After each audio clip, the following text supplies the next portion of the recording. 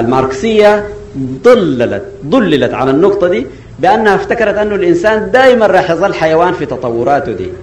ولذلك عند الماركسية وده من المادية التاريخية المادية الجدلية المادية التاريخية الاثنين هم فلسفات ماركس.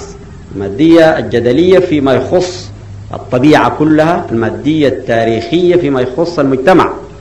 عنده من الأصول بتاعته العنف والقوة هما الوسيلتان الوحيدتان لإحداث أي تغيير في المجتمع البشري. الخطأ هنا. والسبب في الخطأ أن ماركس ما كان عنده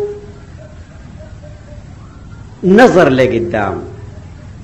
ماركس نظره في التطور اللي بيمشي باستمرار لتفاعل من القوى.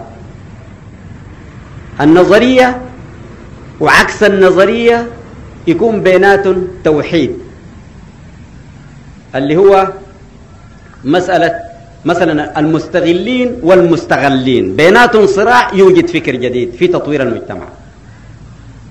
حرب الطبقات. هو بناه بالصورة دي. لكن الفكر الإسلامي يمشي لقدام يقول أنه الإنسان في الحقيقة ساير في طريق دايري. قدامه وراه الفكر الإسلامي ينظر. قدامه العقيدة في الله.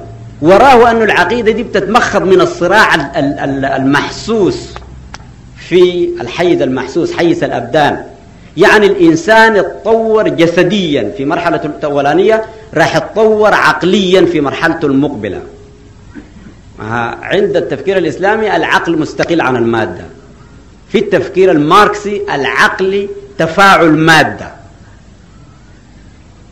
ولذلك النظرة العلمية في الماركسية الخطأ هي من الناحية دي مش من ناحية العلم التجريبي. هنا دي أعجزت ماركس عن أن يوجد توافق بين الفرد والجماعة. في الفكر الإسلامي أنه القوة مش ضروري تستعمل العنف. القوة ضرورية للتطوير.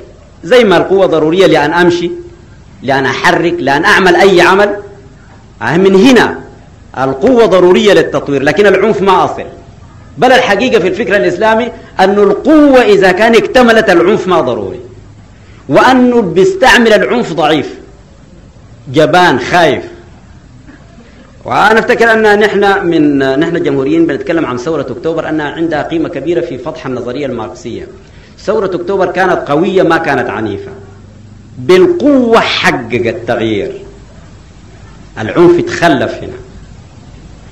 هنا الحاجة اللي نحن بنقول عليها أنه الإسلام ضروري لأن يكون عليه الدستور هو مقدرته في أنه يوفق بين الجماعة والفرد.